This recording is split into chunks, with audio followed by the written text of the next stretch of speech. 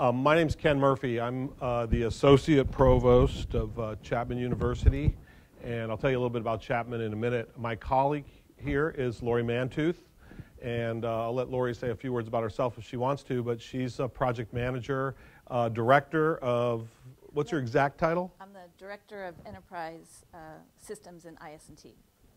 So we have one business side person, or that's how I view it, and one um, one technology person here. We're uh, uh, my background, by the way, is I'm a business school professor, and my long-term experience is uh, uh, uh I'm a stat, stat teacher uh, um, and operations management teacher, and now business analytics teacher, and I currently teach in our MBA program at Chapman.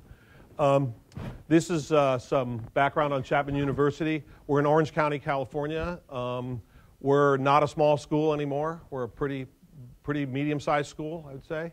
Um, we, we're uh, rapidly reaching capacity. In fact, we have a second campus now, a, uh, a health sciences campus, 10 colleges.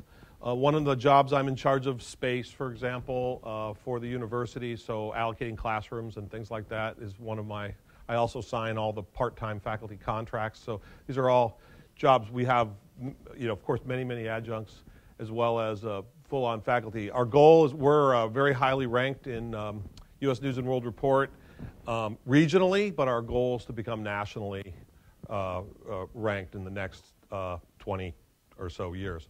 And as I, as you can see up there, we're adding engineering school. That, that's our sort of traditional picture right there. Over there, you see um, our new science building that's just coming online, and we just got a massive grant from the Keck Foundation. There's a picture later on. Um, they're supporting it, and it's the Keck Science Center. And then there is our brand new uh, Musco Center for Performing Arts. It's a world-class performing arts center. So we have a we have a beautiful facility. Um, we're very lucky. We're not, um, for some reason, we're not feeling some of the competitive pressures that a lot of universities are seeing. We have more applications every year, and well, we're finally going to start to level off our undergraduates. So we're, we're in good position in a bunch of ways. So it's real, real exciting, real exciting place to be, real exciting time to be at Chapman. Um, I'm going to let uh, Lauri talk a little bit about the project and, um, and our, our project around implementing um, uh, Blackboard Analytics and, and uh, Pyramid Reporting System. And by the way, I forgot to introduce one other member of our team, very important. She probably doesn't want to be introduced, but Rose Yap Fryman, right back there is um, she's our technical guru, basically, on our project. So, Lauri, why don't you um, take the next couple slides? Okay. So he's our provost, associate provost. He's the extrovert. I am the IS&T introvert, scared out of my mind right now. So, um, but as as Ken said, I have only been with Chapman for a little a little over three years, and I was hired to finish the PeopleSoft implementation of Campus Solutions. HR and finance had just been implemented. They were in the middle of Campus Solutions, and I was telling Ken earlier, it was over budget and behind schedule. Can you fix it? And I said, yeah, yeah, I can fix it. So that's, that's how I got introduced to Chapman. Um, we went live with PeopleSoft in 2015. It was not received well. We had been on DataTel for over 10 years, and it was not received well. No one liked PeopleSoft. And as in many projects that are overdue and behind budget, a lot of scope had to get cut. And the majority of what got cut was reports. So here we go live with Campus Solutions to our new fac- to a new system to our faculty members. And we have no reports. None at all. None. Like not even a course roster. So my CIO and myself said, we need to do something very, very quickly. And for those of you that don't know, PeopleSoft and Query, and, and nothing is really ever quick, and it's certainly not as quick as you need. So we quickly knew that we had to do a reporting strategy. We started this, again, it says November 2015, but we were still implementing PeopleSoft, and we knew that there was an issue, and we were, we were, it was a crazy year. So we did an extensive RFP and an extensive evaluation. And I, I must say, my boss, the CIO, did an incredible job of getting buy-in from all over the university. We had deans going out to Pepperdine to check out Blackboard Analytics. Show me, show me how it works. And we went to, we had, I would say we had a representative from most of our um, departments we had um, someone from the registrar's office, someone from admissions, we had a couple of deans, uh, finance folks, HR folks, and she, I, I want to say 30, 35 of us drove up to Pepperdine. Well, you guys know how far that is, but we drove up the coast of California to check out a university. Um, and, and we, you know, not just for uh, People from Texas wouldn't say it's very far. It was but for, far. for driving two hours in Los Angeles seems like far. a long way. It okay. was far. Um, we also had a lot of vendors try to send us to the OBIEE E Oracle solution. And in doing due diligence, all we kept finding was Blackboard Analytics, they get it up in, you know, record time compared to. So anyway, um, that's what took so long with the vendor selection. And um, and something I think it was Deborah that said earlier about being a partner. I think um, I think Blackboard has been, in my 20 years experience, um, the best partner that Chapman, well, that, that I've had trying to implement software. So I just got to put my plug in there. We did our system setup. We did training.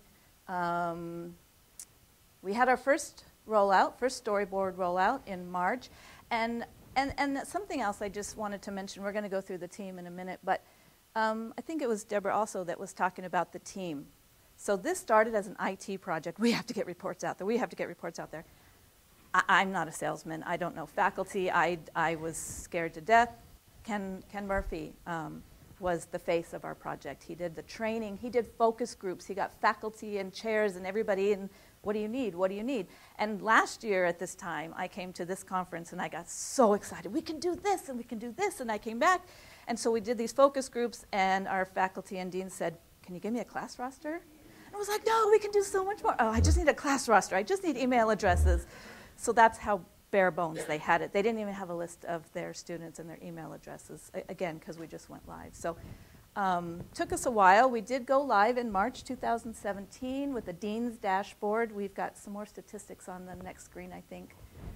Oh yeah, this is our project team. So, What's on the next slide after this? Oh yeah, those are that's the current state. so you've met Ken and myself. Um, I have another uh, project manager in IS&T named John. Rose is our all things, I don't know, system administrator, data architect. She's, she's our guru. Janice is also an IS&T and she helps out. This, this was just the implementation team. Um, we have Robert in institutional research. Nick is in the admission and registrar. Andy's in admission. Uh, Stephanie and Kristen are all in the office of the provost. So these folks are, um, most all of these folks had a full-time job, and we implement, uh, talked about implementing this new project and gave them a second full-time job because now they're going to be the pyramid reporters. And so when we talk about a couple of things, when Ken talks about a couple of things later, we may not have um, been as forthcoming, or did we know how much time that was going to, to be on them. So that's our, And by the way, we I tried to get some pictures from somebody in IS&T of our staff. Couldn't find any, so I got I put pictures of our senior leaders. So you know, when I go back to Chapman, they'll pay for our trip. You know, and everything. All right. We won't go into who they are. It's not important. So um, go ahead. Oh, so where are we now? Um, we do have the dean's dashboard. We have 12 production reports. Oh wait, go back. I missed our. Um, go back one more. So this is our logo. That's it. It's our logo. Instead of using um, um, Blackboard Analytics, we changed it to Panther Analytics. So we've branded it, we marketed it, we we advertised and advertised and advertised, and that, you know, if you build it, they will come maybe. So this is this is a screenshot of um, our dashboard. It's mostly um, enrollment uh, reports, student information. Um, this one happens to be the oh yeah the overall enrollment enrollment by plan. We have enrollment trends. So we're continuing to work on rolling out the student data. Um, and admissions, we have an admissions funnel now, which is relatively new. And then we also have our finance pillar and our HR pillar in progress. We're doing data validation with them right now. It's going less enthusiastically because there was already finance reports and there was already HR reports. And why are we doing this? We already have these reports. So that's, that's a little bit of a struggle. Um, and because it's a little bit of a struggle. We have, and he was in one of the pictures, our vice chancellor of enrollment, who is like Ken, very excited to get this data and what can I do with this data? So we have uh, Phil coming next week to help us with our slate. Slate is uh, where the kids apply for the school. And so we're going to be bringing all of the um, applicant data into our data warehouse too. I just want to paint a clear picture, and maybe it's a cone of silence in this room, but uh, not everything goes totally smoothly here for a bunch of reasons. And, and really, what we had hoped is that we have a little bit more time for some interactive, but we we are going to throw out some questions that maybe we can talk about afterwards. Um, so I'm going to I'm going to sort of I have two sets of challenges. One set of challenges here is really around um, commitment of senior leadership and motivation of staff. And and I think uh, I should have made a better graphic, but if you think about it, we've got senior leaders who are sort of allocating the resources and paying for things, right, and saying putting the staff on the projects. We have staff that are actually doing the work, like developing the reports and all these things but they have, as Lauri mentioned, day jobs, right? And then we have end users, right, who are like, in, in the case of the dean's dashboard, are deans and department chairs and program directors and people like that. You know, it, and they kind of know what they want, but not really, right? But they're just kind of waiting there for, and you know, they're they are coming to training. They are they, they are you know somewhat enthusiastic. But so we have these three groups of people, and you know, I, at least I could help. I could use advice on how to sell uh, a better management structure potentially for this group to get this project rolling out faster. So th- those are the kinds of things we're interested in. So for example, at the beginning, our senior leaders are pretty psyched about this. I think in, you know on the surface they're they're they're interested and they're excited, and as Lauri said, they were motivated. Um, do they understand what it really means? I'm not sure. Right? And, and the admissions chief admissions officer is a good example because at the beginning he's so used to managing from one number. How many freshmen did we admit last year? And because the system at the beginning couldn't deliver that number that he's used to, he wasn't comfortable with it. Well, finally, we got that number on a screen, and now he believes in the system, right? But what he's also starting to realize is that he can get an update on that number every week, right? Because he's so used to just having one number. He doesn't, he, the, the dynamic nature of, of data just right over his head until now. So it took a long time to sort of sell him on that.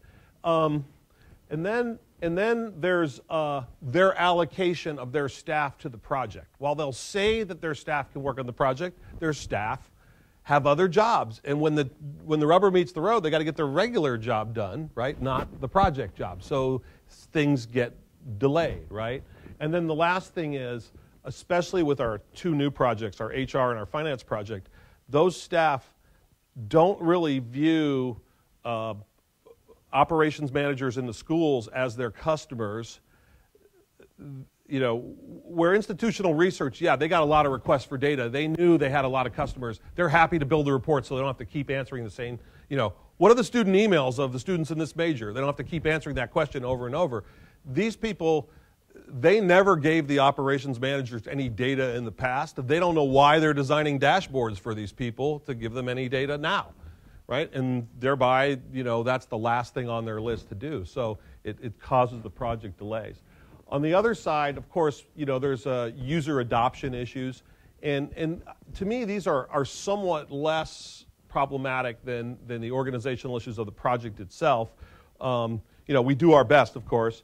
Uh, but but uh, I think the um, you know as Lauri said, the, the questions they the questions they ask and the questions that we think they want to know are different. One of my problems is I moved. I was an assistant dean, but I've never been a department chair, so I don't know a lot of the tasks that the department chairs go through.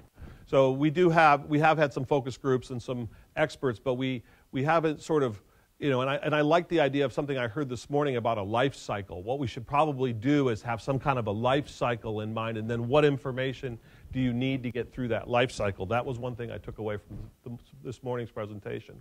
Um, there's also technology issues. It turns out, you know, and, and this is probably true in many organizations, that everybody uses different terminology to describe the same thing, right? And so there's a huge organizational learning around let's just get all on the same terminology. And then, you know, you know, the other thing is, is for some people, it's difficult just to get them to log into the system, right? They, they're used to, they were used to getting something via email. It was a spreadsheet. They knew how to open it, right? Now they have to log in. They have to set some parameters, right? I see Phil skeptical of that. How difficult is it to do a couple of drop downs? Not that difficult, but for some people, it seems to be. So these were our questions for you. We're going to finish up here in a second, in case you're wondering. Um, you know, one thing is uh, how should we structure our project to ensure the com- commitment by the leaders and also by the resources that are working on there? So what can we do? Uh, you know, there's there's sort of some obvious things I think around incentives, but I think where we need to work harder is to sell the leaders, the, the, the senior managers who who are in the business office or in the HR office at at, at, at allocating some of their precious resources times. Um, the other thing is, is um, you know, what levers do we have when we don't manage people directly to get them to use these systems successfully? So that's why I had that little technology acceptance model in the corner of that one slide, which is a famous uh, MIS model. If you, if you have a degree in MIS, you probably remember from your degree uh, for getting people to accept and use technology. And the last thing is, and, and this is where I'm really kind of big on now, is, is how can we get this, the sort of the culture of analytics rolled out to the organization as a whole? I'm reading uh, a, book by Davenport, um, and I don't know if you guys have read Competing on Analytics. It's a, uh, he just came out with a, a, a second issue of the book. He has a framework for how organizations evolve through analytics. And so if you're interested in sort of the, the managerial or evolutionary uh, aspect of it, this is his framework for it. Um, if you're in stage one, you don't even have a data architecture or an ERP system or the, the, the, tools in place. I think we're beyond that at Chapman now. I'm proud, proud to say that. If you're in step two, you're, you're rolling it out, but functionally, you're, you're, you're, not, you're not corporate wide yet. You don't have the top leader saying, this is what we're going to do. And I kind of feel like we're there. We're getting proof of concept, we're proving it works, we're building trust, we're winning with certain small groups. We've got some users who like the system, but we're not fully engaged. When you get to level three, that's when you have your senior leaders saying, We're going to manage using the information that comes out of this system. That's a huge step. Because once you get to step three, then you can really begin to you know, leverage the power you have of your data. So my big question is how do we get, how do I get, how does Lauri and I get, how do we get our team, how do we sell our project to our senior leaders so that we can move to the next step?